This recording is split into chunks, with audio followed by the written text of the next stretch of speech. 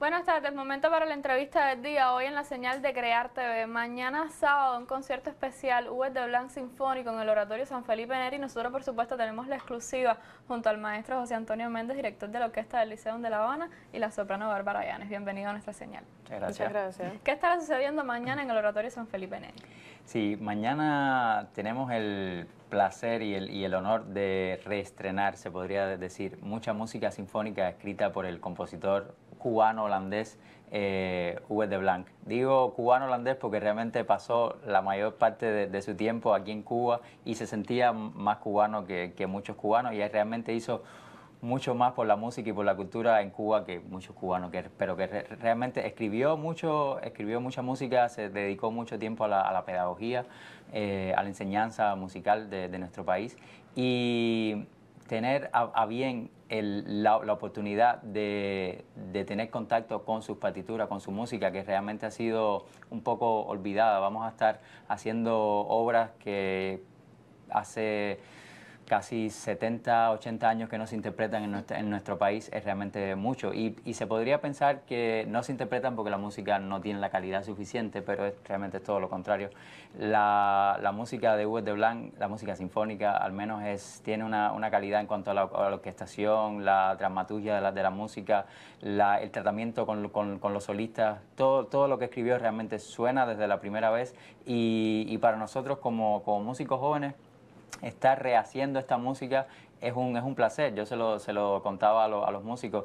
Tenemos el, privilegio que, de, sonar una música que no ha sido tocada en, casi 100, 100, años. Para uno como músico te da un poco de, de eh, orgullo, ¿no? Ser, ser partícipe de este momento. Y vamos a hacer una danza que se llama Danza Tropical. Después la, la maestra Bárbara hablará un poco porque tenemos la, el inmenso placer y el inmenso honor de que ella sea la, la eh, solista que va a interpretar esta danza, que es un, de un virtuosismo increíble, además de un Ave María.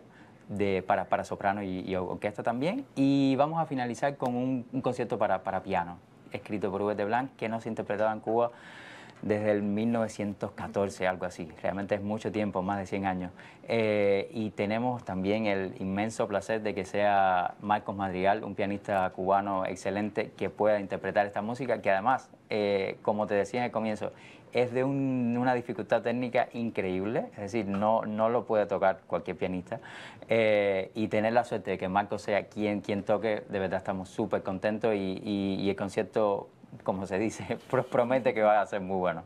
Maestro, nos adelanta detalles incluso del programa, en orden puede ser también la ¿O no? un, poco, más, más Pero sí tendremos el detalle, pero, pero detallado de lo que estará sucediendo mañana. Me gustaría, a pesar de que ha adelantado algo de la participación de la maestra Bárbara Llanes, maestra, por favor, que me diga cómo va, cómo va a incluirse dentro de este eh, dentro de este concierto, que también un poco antes de la entrevista comentábamos que de cierta manera es idea original suya, ¿no? Como la segunda parte de una idea. Eh, es la, y la inspiración, pienso, para, para Pepito para eh, la orquesta, eh, surgió todo a partir de, mm, de, un disco que grabamos juntos y que está nominado en este, en este Cubadisco, eh, porque yo quería que la, que la orquesta también luciera ¿no? como, como solista. ¿no? Entonces estábamos pensando en, en, una obra, en hacer una obra y mm, Pepito me sugirió hablar con Gómez Cairo, que eh, este concierto, él no lo ha dicho, pero está dedicado a, su memoria. Entonces, él tiene ahora en las manos este tesoro que, va a, marcar eh, un, un punto en la historia. Entonces, bueno, pues Mm, yo quisiera, por supuesto, tener acceso porque creo que es un, un tesoro, es un material muy, muy, muy valioso.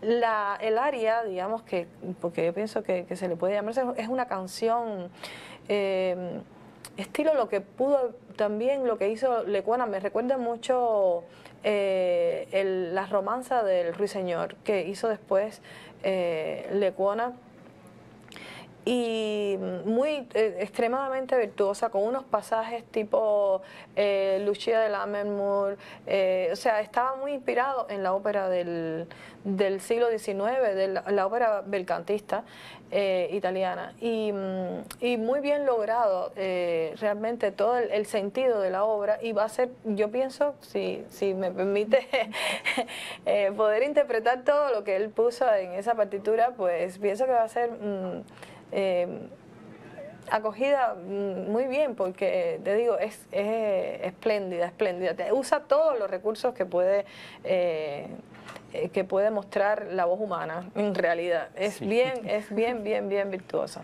Seguramente tendremos el virtuosismo de su voz maestra en este concierto que tendrá lugar mañana en el Oratorio San Felipe Neri a las 4 de la tarde, que tendrá la dirección de la Orquesta del Liceo de la Mozartiano de La Habana con el maestro José Antonio Méndez y Marcos Madrigal en el piano. Sin duda un trío de lujo que esperamos que usted pueda asistir. Le hacemos la invitación desde la señal de Crear TV. Pues manténgase en sintonía, tenemos otras informaciones para compartir.